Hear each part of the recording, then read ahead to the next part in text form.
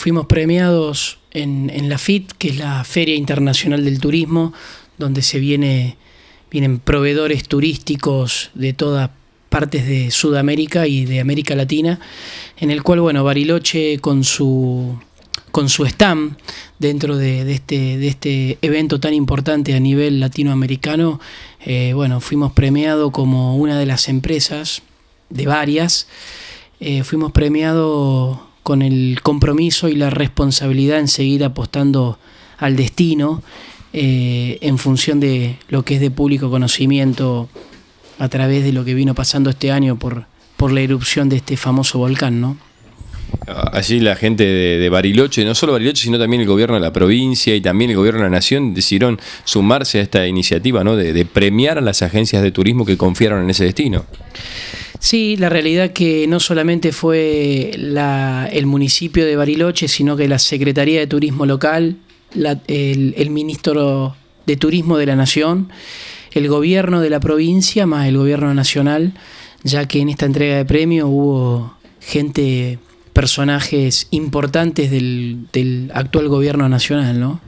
¿Y qué significa para ustedes esta, esta distinción? Ya que, bueno, más allá de lo que significa para Bariloche, lo que significó para Bariloche que las agencias como Expreso Sur hayan apostado, los mayoristas como Expreso Sur hayan apostado al destino. ¿Qué significa para Expreso Sur?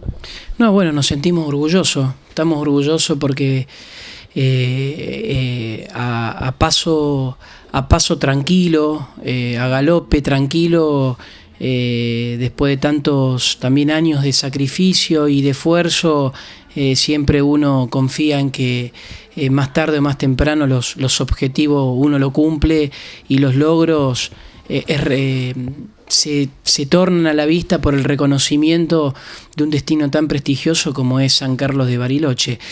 Y también, también a veces nosotros cuando tomamos esta decisión de apostar y de seguir enviando pasajeros a este lugar, cuando fue en el mes de julio y agosto, que fueron los meses más caóticos, eh, también hay que no comprar todos los discursos que también salen en, los medios, cuando particularmente a Bariloche como destino la, nombraban como una ciudad que era imposible pisarla por, por las cenizas cuando gran parte de la ciudad y de los proveedores estaban totalmente operables.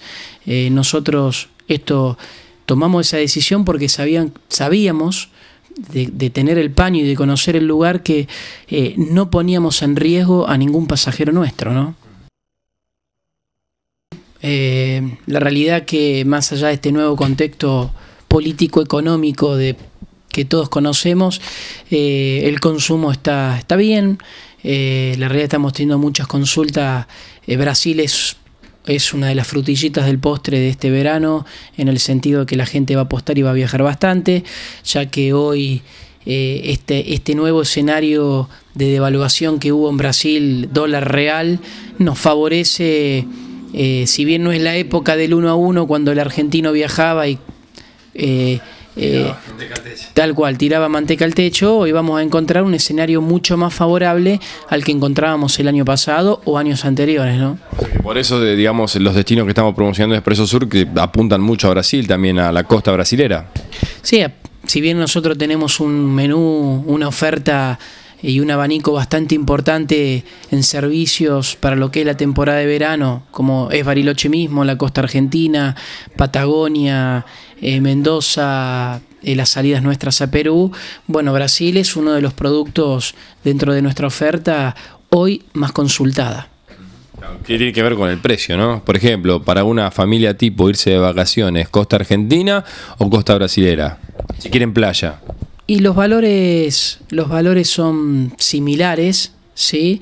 Eh, los valores de acuerdo a cómo está constituida la familia siempre tomando un paquete de excursión, ¿no? En donde vos compras, tomas un paquete que te incluye el traslado, la asistencia del seguro, la coordinación, la hotelería y la media pensión. Estás hablando de valores similares y lo cual quizás la diferencia que a veces se marca entre Brasil y la costa argentina, la prestación del servicio, la calidad que quizás pasando a encontrar un poquito más en Brasil a comparación de la costa argentina. ¿no? Esto ocurre también, uno va a cataratas y muchas veces para del lado brasilero. Por cuestiones de prestación de servicio, que por quizás un mismo monto, un mismo valor, encontrás una mejor atención o calidad en el servicio. Bien, y hablabas también y mencionabas Patagonia. ¿Patagonia es un destino que está consultando mucho la gente también?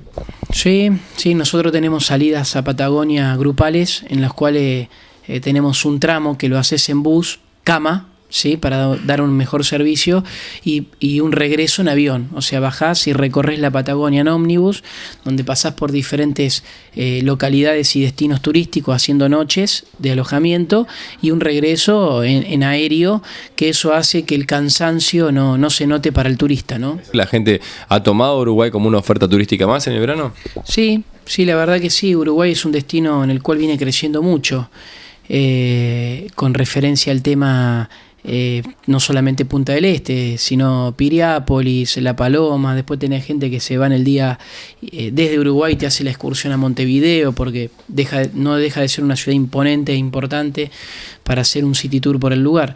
Y, lo, lo, positivo que dentro de este contexto hoy Uruguay ya anunció que iba a tomar pesos argentinos, o sea que eso también va a ser un, una, un aliciente importante a la hora de tomar de una toma de decisión.